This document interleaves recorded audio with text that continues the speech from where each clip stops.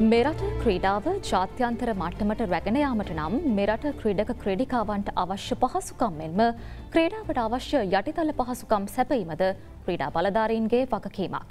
නත නමුත් ඇතැම් ක්‍රීඩා සඳහා ජාත්‍යන්තර මට්ටමේ පහසුකම් තබා දේශීය මට්ටමේ පහසුකම්වත් සැපීමට ක්‍රීඩා බලධාරීන් අපහෝසත් වී තිබෙනවා. අද අපේ තොරතුරුගෙන එන්නේ ශ්‍රී ලංකාව සතු එකම කෘතිම හොකි ක්‍රීඩාංගනයට අත්වී ඇති කේදනීය ඉරණම පිළිබඳවයි. ශ්‍රී ලංකාව සතු එකම කෘතිම හොකේ ක්‍රඩාංගනය කොළඹ ටොරින්ටන් ප්‍රදේශවේදී කිරුණේ එක්දස් නවසි අනු හය වසරේදී. වසර විසිහයක් පැරණි මෙම ක්‍රඩාංගනය අවස්ථා කිහිපයකදී ප්‍රතිසංස්කරණය කළත්.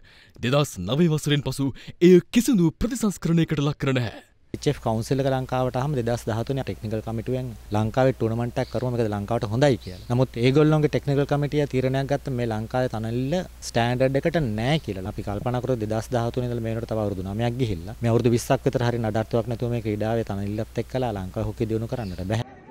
ශ්‍රී ලංකා ජාතික හොකේ කණ්ඩායමේ ක්‍රඩක ක්‍රඩිකාවන් නිසි ප්‍රමිතියකට නොමැති මෙම කොළ පැහැති කෘතිම හොකේ පිටේදී පුහුණුවීම සිදු කළත් ඔවුන්ට ජාත්‍යන්තර තරගවලට සහභාගිවීමට සිදුවන්නේ නිල් පැහැති හොකේ ක්‍රඩාංගනවලයි.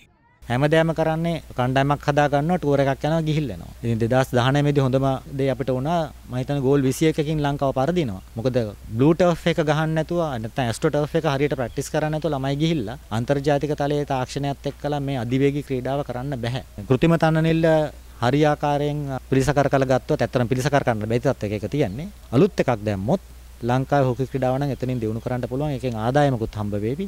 ක්‍රඩාවෙන් ජාත්‍යන්තර ජයග්‍රහණ ගැනීමට අවශ්‍ය කටයුතු සිදු කරන බව පවසමින් බලයට පැමිණෙන ආණ්ඩුවලට මෙන්ම මෙරට ක්‍රඩා බලධහරින්ට අද වන විට ක්‍රඩාවට අවශ්‍ය අවම පහසුකම්වත් සපීමට නොහැකිවීම කනගාටුවට කරුණක් නොවන්නේද.